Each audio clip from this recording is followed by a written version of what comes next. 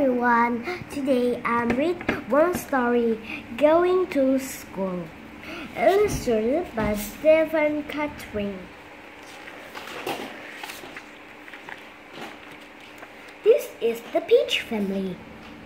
Mrs. Peach, Mr. Peach, Percy Peach, Polly Peach, Sydney the gerbil Dusty the catch. Pink the other kitten, Pong the kitten. Percy and Polly are twins. Tomorrow, they are going to school for the first time. This is where the pigeons live. They live about the Marsh family. Millie Marsh is going to the same school as the teens. Mr. and Mrs. Peach wake Percy and Polly. It is 8 o'clock in the morning. It is time for them to get ready for school. Percy and Polly get up their said they have their breakfast. There are teens put on their shoes and coats. Millie is ready to go to school with them. They all go to school. At first, Polly is a little shy. Mr. Toad, the teacher, says that Mrs.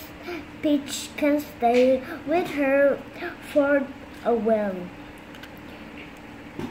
Mrs. Peach hangs Percy's coats on his own Percy's hook. He has to take Percy get Gerbil, Sydney, back home with him. Percy and Polly joined their class.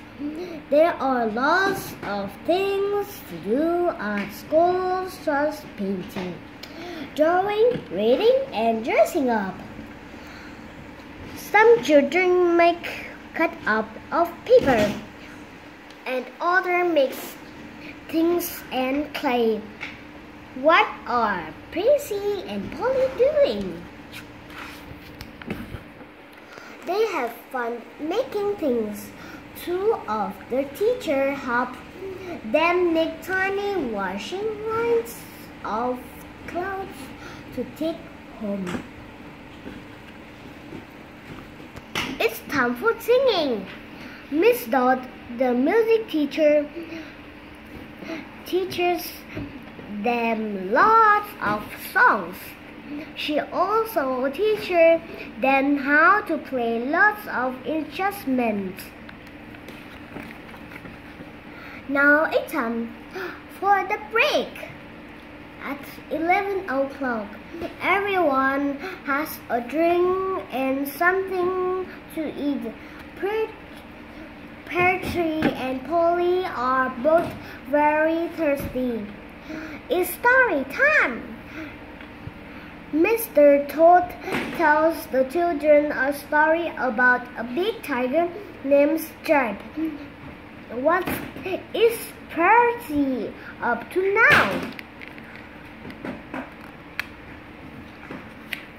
The children go out to the playground. There are lots of things to play with outside.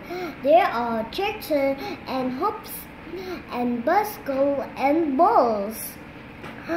Polly loves going down the slide. Percy likes to play in the sand, but Millie has found something else to play with. It is time for Percy and Polly go to home. They have had a happy day at school and so has Millie. They have met up lots of new friends.